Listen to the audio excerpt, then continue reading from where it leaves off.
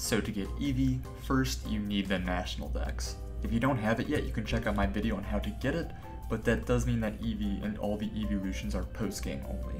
Once you have the National Dex, go to Bebe's home and Hearthome, where she will gift you an Eevee.